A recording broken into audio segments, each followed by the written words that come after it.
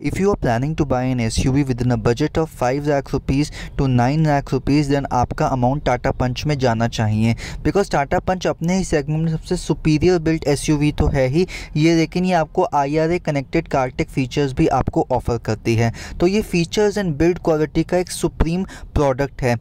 अपने कंपटीशन से ज़्यादा पावरफुल इंजन ही आपको देती है, जहाँ कायगत और मैग्नाइट में 1000 सीसी के इंजन आते हैं, ये आपको 1200 सीसी का इंजन प्रोवाइड करती है।